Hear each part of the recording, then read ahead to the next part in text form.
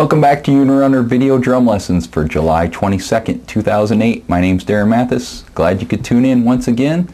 And today I'm going to just plan on going through as many voicemails as I can get through in the next few minutes. I've got a whole list of them. Uh, so stay tuned if I'm not able to get through them this time and you did call in. Uh, hopefully I'll be able to get it to them in the future.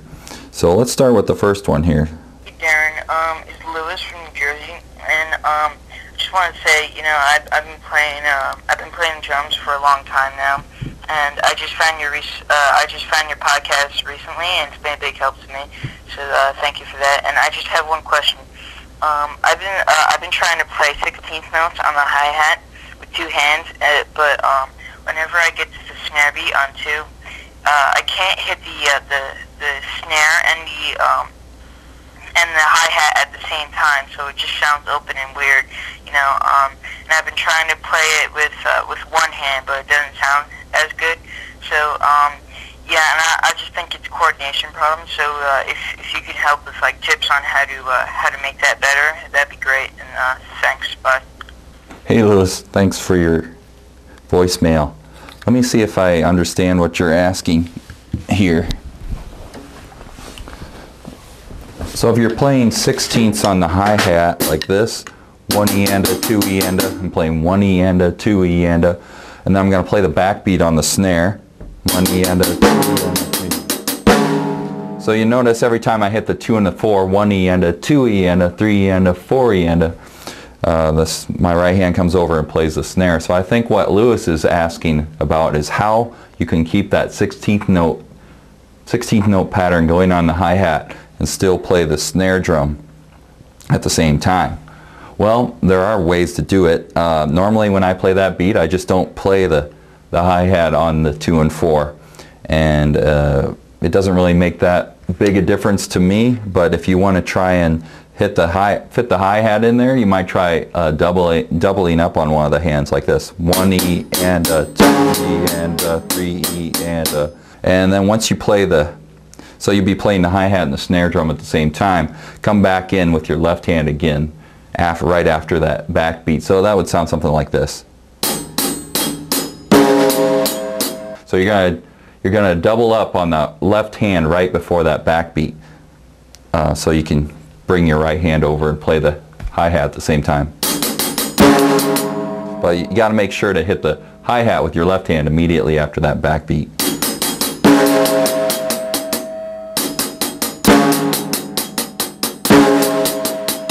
So that would be one way to do it. I would have to practice that to get that up to speed. But if you really want to be able to play the hi-hat and snare drum at the same time, that's one way to do it. Otherwise, I usually just do something like this.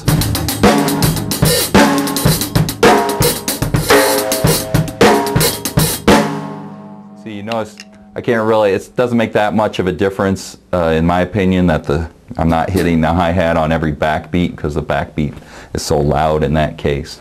Hey, Brown from Germany, and I'm 15 years old. Uh, hey, Darren. First of all, thank you for such such a great podcast like yours. I've got a few questions, and uh, I need answers. Uh, first of all, do you think it's really important to use triplets in a song and stuff like that? and I'm looking temporary. I'm looking for something like a drum car because when I kick kick my kick drum, it just moves around and stuff. But I don't want to spend the seventy dollars on one. So is there any cheap, uh, any cheap other device I could use? Alright, thanks in advance. Uh, so from a bad English, Marvin. Hey Marvin, thanks a lot for your voicemail. Okay, so the questions were, is it necessary to play triplets in a song? Uh, well, that's a good question. Is it really necessary to do anything in a song? It's probably goes back to what I've mentioned before about expressing expressing emotion. It just depends on what you like to express within a song and what you hear in your head, and not to get too esoteric, but also in your heart as well. Uh, it's just kind of what allows you to express that emotion. If triplets in a song are going to allow you to do that, fine. Uh, one thing that's good that triplets do a lot of times is just stand out. Uh, you could be rocking along in a song one E and a two E and a one E and a you know, things like that, like that triplet, ba ba ba ba. Sometimes they make a statement because they can stand out from the very uh, cut and dry sounding eighth notes, sixteenth notes, and quarter notes that you might otherwise hear. Uh, so they're they're good for making statements in different ways, and and then in the fills too. Uh, like for instance, I'll play some fast triplets.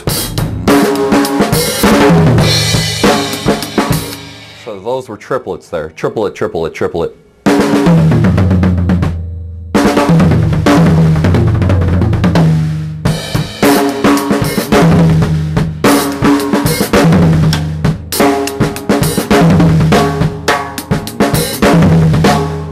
So I'm playing the last two triplets are on the kick drum. Triplet, triplet. So one. So basically I'm dividing it up. Triplet, triplet. Triplet, triplet. That's kind of a cool lick.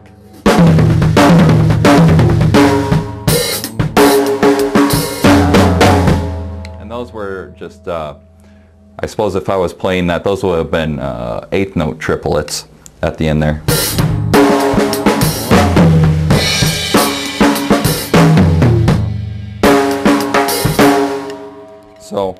Is it necessary? Uh, Marvin, absolutely not. But if that's what you're hearing in your head, uh, I would definitely incorporate them. It just depends on uh, what you're trying to accomplish with the song, what kind of musical statement you're trying to accomplish as well. Now, a question about the drum carpet. That's a very good question. I'll show you what I've got here that I use for a drum carpet that's worked really well. Okay, so so what I've got for a drum carpet here is a it's just a, I don't know what you call these, remnants or scraps or something. It's just an old piece of carpet that I bought from a carpet store. And uh, I've got it marked, spiked as they call it, with, uh, with uh, magic marker where I want everything to go. I did that initially with tape until I had played with it for quite a few times until I made sure everything was where I wanted it to go. So now I've spiked it with a magic marker marking the locations of uh, the stands and whatnot. So that's allowed me to set up quite a bit faster. But uh, Marvin talked about his bass drum sliding. So if you look here, really if your bass drum's giving you the most uh, trouble, all you need really is just a piece of carpet that runs from under your seat to your kick drum pedal. And you might also want it to get big enough to go under your hi-hat pedal as well. But those are the things, since you're going to be hitting those with your foot, that if they're anchored to this carpet that's also under your drum seat, uh, everything else is probably going to be okay if uh, you just want to go with a minimal size. But like I said, I like to have carpet under my entire kit so I can spike the locations and uh, I don't have to worry, you know, uh, depending on what the surface I'm going to be playing is, that it's going to be sliding around or, uh, well, I just have a consistent surface then, and I, I'll know that maybe I won't have to accidentally scratch some wood or something like that. I'll be less likely a scratch. But you still risk scratching things because the spikes on these, my particular pedals here will go right through the carpet, but they do help it to stay. Uh, one thing on this DW pedal that it's absolutely not going to move because on the bottom of there you've got Velcro. In addition to the spikes that go into the carpet you got Velcro. So if you don't have Velcro on your bottom of your kick drum pedal you can always just pick some up at a hardware store. Put the uh, the more plastic or the coarser I think that's the hook part onto uh, the bottom of your kick drum pedal so it's very hard for me to move this pedal anywhere uh, because I've got the Velcro, it's on the spikes, it's attached to the kick drum, and also on the front of the kick drum there are spikes that go into the carpet. So that's really not going to go anywhere. But uh, as I mentioned, for a, a, minimal setup to keep your bass drum from sliding, I would just recommend getting at least a piece of carpet that's going to go from the bottom of your uh, drum throne on, all the way under your kick drum pedal and your hi-hat pedal. And hopefully most manufacturers are putting spikes on their, their hi-hat pedals and their kick drum pedals. If you want some extra hold, like I said, you might want to put some Velcro on there. And uh, not all bass drums I know have the spikes, but on the on the spurs there, or the spurs on your uh, bass drum feet or legs. Uh, but if you've got spikes that go on your kick drum or on your kick drum pedal, they go into the carpet, that's definitely going to be enough to hold it in most cases. Well, Marvin Lewis, thanks for your voicemails.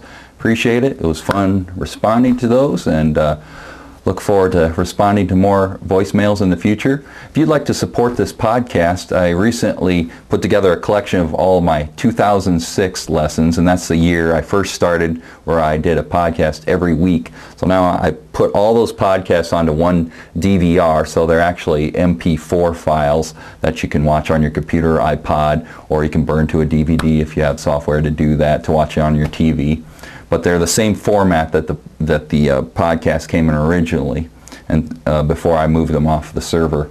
So if you'd be interested in supporting Unirunner, uh, this, this podcast, you can go to unirunner.com forward slash 2006. It's three and a half hours of uh, video drum lessons uh, hosted by me, and uh, all the proceeds will go to support this year's free podcast. So appreciate your support. Until next time, Keep practicing, and God bless.